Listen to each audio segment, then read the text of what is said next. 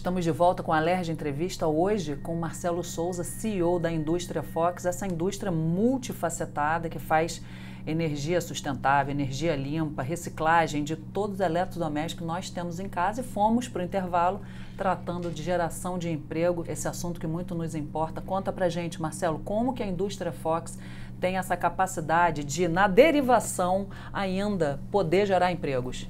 Novamente, nós temos que voltar um pouquinho de história e cair novamente na economia circular. Quando nós falamos inicialmente da primeira revolução industrial, segunda revolução industrial e crise de 29, nós tivemos o seguinte cenário econômico mundial. Importante fazer um grifo. Com o Covid, o PIB mundial recuou 3,3%. Na crise de 29, o PIB mundial recuou 15%. Por quê? Houve um deslocamento entre demanda e oferta. Eu tinha pouca demanda e alta oferta. Automaticamente falando, houve um para equalizar a demanda, empresas quebraram, foi o crash da bolsa e muitas pessoas ficaram desempregadas, acabando com a economia. Para ajustar novamente a demanda, criou-se a obsolescência programada, que significa eu tenho um produto, esse produto quebra inesperadamente quando acaba a garantia, me forçando a comprar outra coisa. A indústria da moda, ela é campeã em obsolescência programada. E assim, é algo tão forte que se você não acompanhá-la, você se sente uma pessoa completamente deslocada. Justamente toda essa questão de obsolescência programada, ela surge para gerar uma demanda em massa, para aquecer uma produção em massa, para eu estimular o emprego e a economia. Agora, e para me mudar isso com economia circular? Na economia circular existe uma máxima que eu vou explicar para vocês. Eu quero uma furadeira ou um furo? Quando eu compro uma furadeira, o objetivo é ter uma furadeira ou o objetivo é ter o furo que essa furadeira pode me proporcionar? O Quando furo. eu compro uma máquina de lavar, eu quero uma máquina de lavar, eu tenho um desejo profundo de ter uma máquina de lavar ou eu quero a roupa lavada? A roupa lavada. É o princípio do Uber, a pessoa não precisa ter carro, ela só quer ser transportada, né? O Uber é uma empresa de economia circular. E aí entra a conexão da quarta revolução industrial com a economia circular. As tecnologias de plataforma da, da quarta revolução industrial proporcionaram o avanço da economia circular. Por exemplo, vamos pensar em Netflix. E depois eu vou falar mais assertivamente sobre a questão dos empregos. Imagine só quantas toneladas e toneladas e toneladas e toneladas de plásticos que deixaram de ser é, utilizados para a fabricação de fitas, DVDs, mídias, CDs. Todos esses equipamentos deixaram de ser existentes. Houve uma obsolescência tecnológica nesse caso. Então você passa a ter as plataformas de streaming, logo você acaba com uma indústria que consumia matéria-prima todos os dias.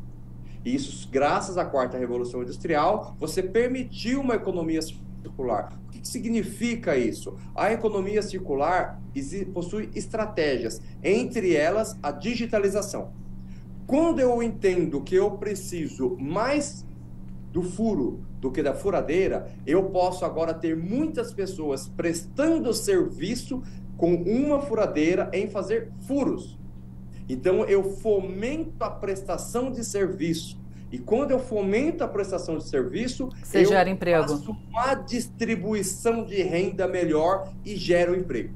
Eu diminuo o tamanho da indústria, eu diminuo o tamanho da produção seriada, passo a produzir produtos mais duráveis, mais sólidos, mais robustos, com uma vida útil maior, para que esse produto possa ser utilizado em serviço. É o caso da Uber, por exemplo. É o caso da Airbnb, por exemplo. É o caso da Netflix, por exemplo. Ou seja, falar de economia circular é você ter estratégias é um modelo econômico que possui estratégias de implementação.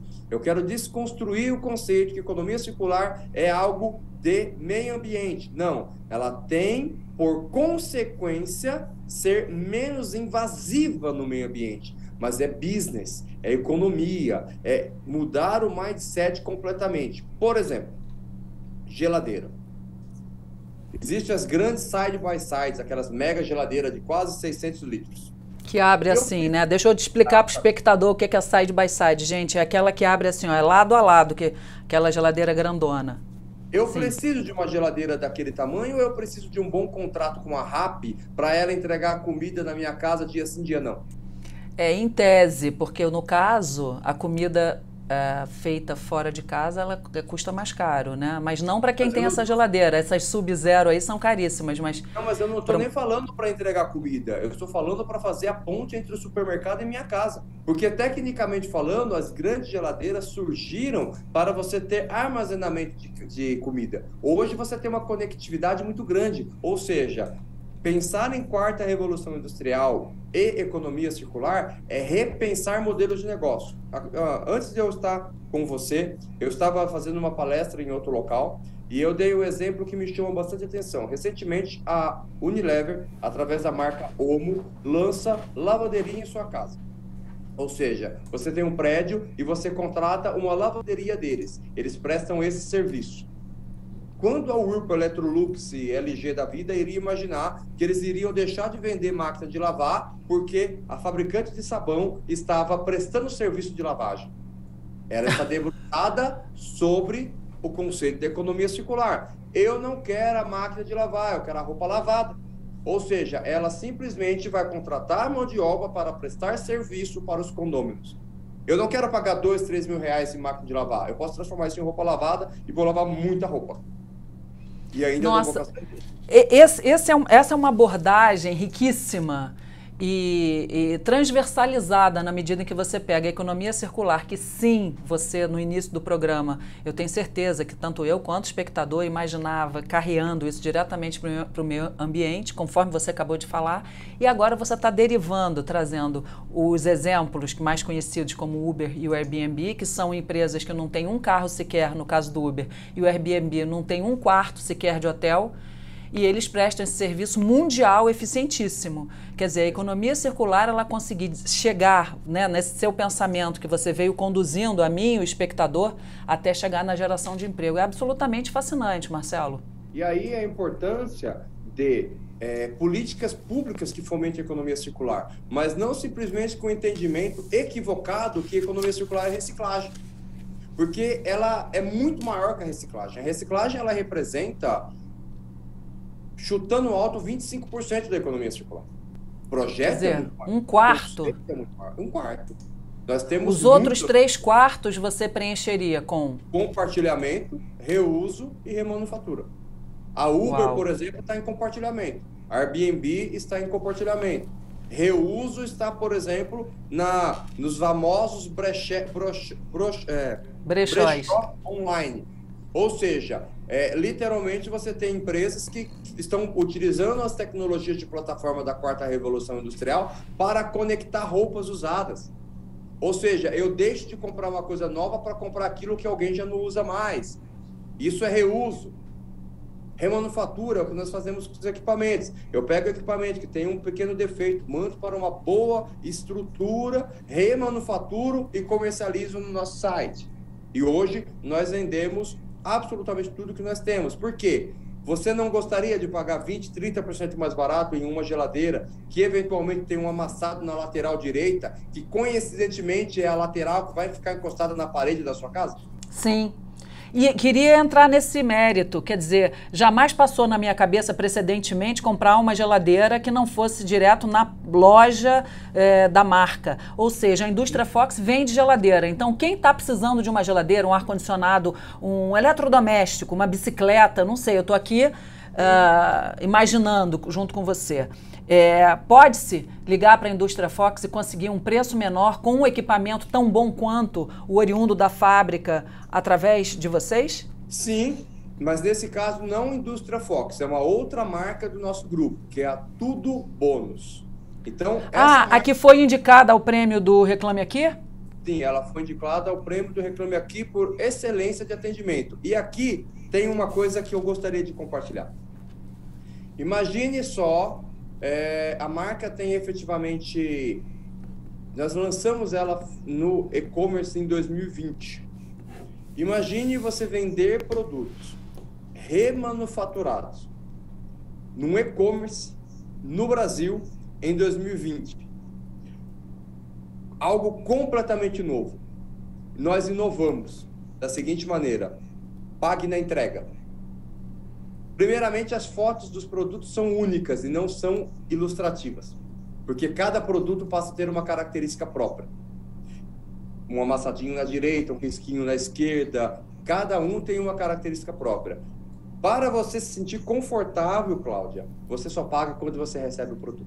Quando você vê o produto, né? Então a pessoa Eu fica naquela insegurança. Na sua casa, você desembala e você fala: "Nossa, era isso que eu queria". E aí você paga o produto. Assim nós conseguimos crescer e vender 100% do que nós produzimos Estamos crescendo em parcerias para que nós possamos expandir ainda mais e mesmo com toda dificuldade de quebrar a ideologia que o produto remanufaturado não é um produto bom, fomos indicados ao Prêmio Reclame Aqui de Excelência de Atendimento. Nossa, mas que glória! Que ideia boa essa de você poder só pagar quando recebe, porque me, me ocorreu aqui, me remeteu a leilão, né? Porque leilão você tem a oportunidade de entrar no galpão e ver tudo que vai ser leiloado para você poder julgar se você vai querer dar o lance ou não. No seu caso é uma coisa individual, quer dizer, é personalizado, você leva, ou seja, um investimento gigante, vocês estão realmente investindo, aportando muito recurso, porque isso é muito caro. Sim. Você é tão seguro de que a coisa vai acontecer que você tem esse, esse gasto né, de levar até o consumidor final para ele ver se vai pagar ou não. Exato. E aí nós temos.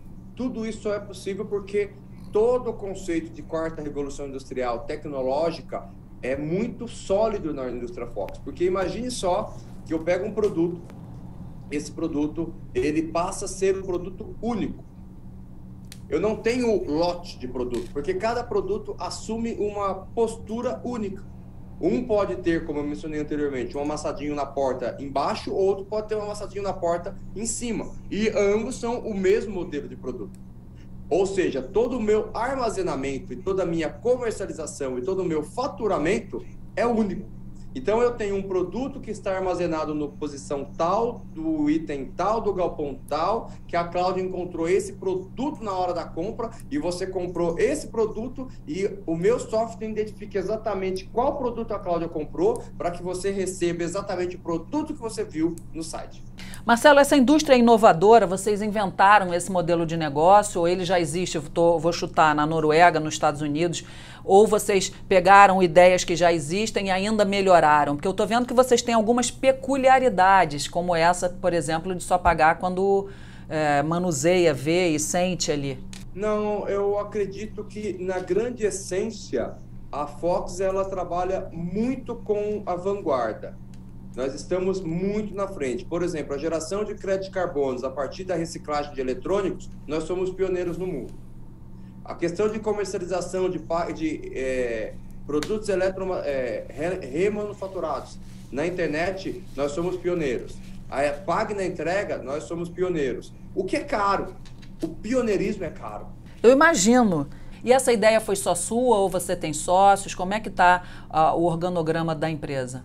A ideia original é do acionista majoritário na, no âmbito de reciclagem de eletrônicos com geração de crédito carbono. Essa ideia dele, ele é um alemão, veio para o Brasil em 2010, quando nós nos encontramos trabalhamos juntos. Hoje nós somos, temos três, é, três acionistas prioritários na organização, ele, eu e um grupo de acionistas dos nossos colaboradores que optam por stop option, ok? Então eles adquirem cotas da empresa. A questão da remanufatura de produto veio de mim. Então, tecnicamente falando, existem ideias em conjuntos e nós vamos construindo e inovando é, e avançando e usando o termo que nós gostamos de falar, desbravando a economia circular.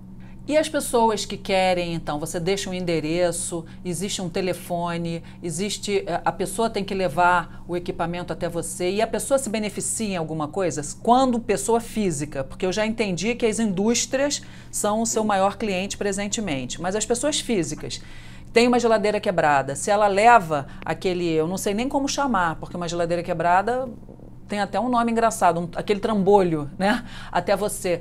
Isso gera algum recurso para ela, por ela tá poder, por ela estar entregando é, quilos de material?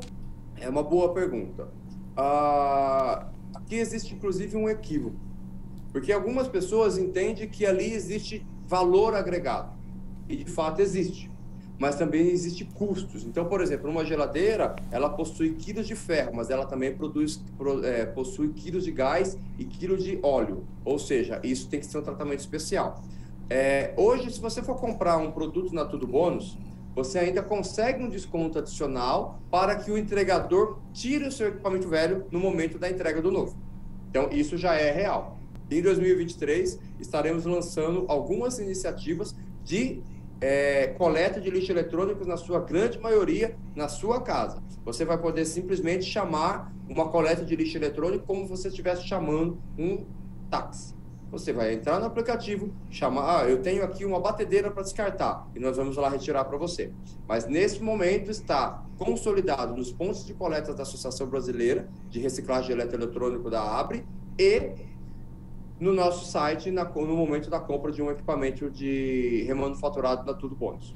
Então, na Tudo Bônus, que é o seu braço comercial, né, a indústria Fox, ela ela, ela recicla e a Tudo Bônus é o braço que vende. Então eu quero comprar uma geladeira, voltando, ou um ar-condicionado. Aí eu ligo para Tudo Bônus, tem um ar-condicionado quebrado em casa, já vou me beneficiar, porque ele vai ter um pequeno risco, alguma avaria que não vai interferir com o seu funcionamento, e entregando o meu, esse preço ainda fica minorado? Você ainda tem um desconto na compra do nosso.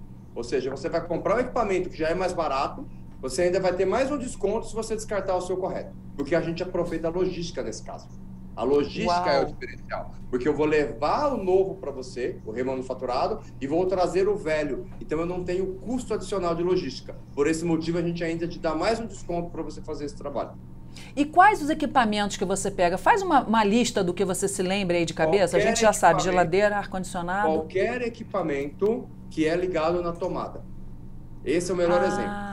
Então, por exemplo, ah, eu tenho um brinquedo do meu filho que eu preciso carregar pilha e ele ah, funciona com pilha. Esse é um lixo eletrônico. O lixo eletrônico, a sua classificação é de 0, de 1 a 24 volts. Se Mas então eu não entendi. Você falou que tinha que ligar na tomada. A pilha está valendo também?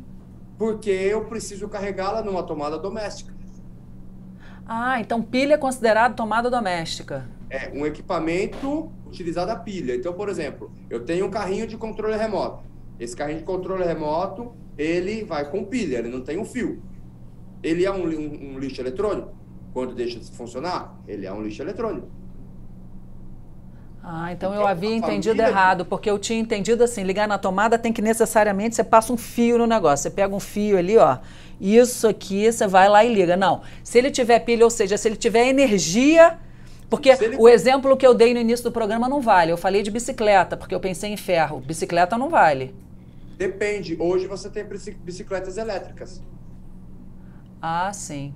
E se você tem bicicleta elétrica e ela consome energia entre 1 e 220 volts, ela é um lixo eletrônico. Que aqui eu gostaria de mudar um pouquinho o conceito. Nós falamos muito de lixo eletrônico, mas nós estamos mudando isso para equipamento eletroeletrônico inservível. Por quê? O conceito lixo, o conceito lixo ele, ele tem um, um, uma conotação ruim. Então imagine que eu tenha uma geladeira. A geladeira ela é, está na minha casa. Eu decidi comprar uma geladeira nova. Eu pego aquela geladeira e vou descartá-la. Ela virou um lixo? Ela não é um lixo, ela continua sendo uma geladeira, mas agora ela é uma geladeira para mim inservível. Então, o conceito lixo eletrônico muitas vezes tem jogado contra o crescimento desse mercado. Ah, vamos fazer uma campanha de coleta de lixo eletrônico no aeroporto. Aí o gestor do aeroporto fala assim: Mas eu não quero um lixo no aeroporto. Não, não é lixo. Equipamentos eletroeletrônicos inservíveis. É quase que uma questão até semântica, né? Porque fica assim, vamos dizer, o preconceito. Eis Eis o exemplo do preconceito, né? Eis o exemplo do preconceito. Então, por exemplo, eu já tive situações de querer fazer uma campanha de lixo eletrônico, de coletar lixo eletrônico, e a pessoa não quis. Aí depois eu mudei o tempo e falei, ah, eu quero coletar lixo, é, equipamentos eletrônicos inservíveis. Ah, tudo bem. Nossa, nossa. Então, assim, que barreira, né? A palavra lixo tem uma conotação ruim. Verdade. Você tem toda a razão. Então, em se tratando de, voltando aqui, a parte do metal não é o que a gente é, enfocaria. Quer dizer, o foco não seria isso. Ao, coisas feitas de metal, então, por exemplo, olha, eu estou imaginando aqui panelas. É... Talvez possa ser uma panela elétrica.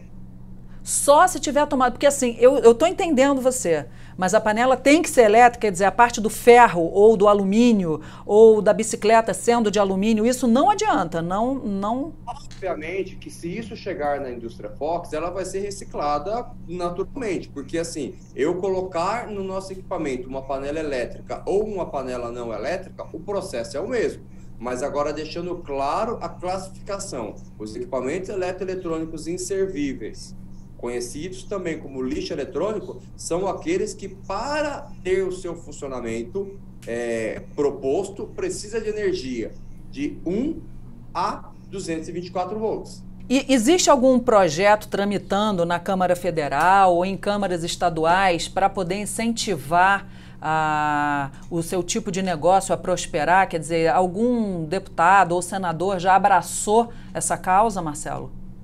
Tecnicamente falando, houve o decreto 10.240 que institui o, as, a, as metas da Política Nacional de Resíduos Sólidos para o âmbito de lixo eletrônico. É, no ano passado foi desenvolvida a Frente Parlamentar da Reciclagem, ao qual eu tenho assessorado pelo deputado Vinícius Carvalho como presidente, mas eu não tenho ciência de projetos em andamento.